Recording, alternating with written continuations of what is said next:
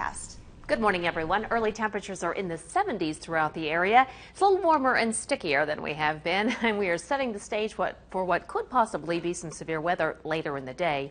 If you're going to be in Bentonville, the high warmer than we've seen in a while, 94 degrees with that 50% chance of showers or storms. Same thing in Fayetteville with a high of 94.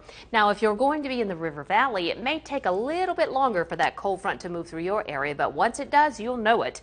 The high will be 98, and then the showers and storms won't be too far behind. That's a 50% chance in your area as well as Van Buren with a high there of 97. In your extended forecast, it plays out like this.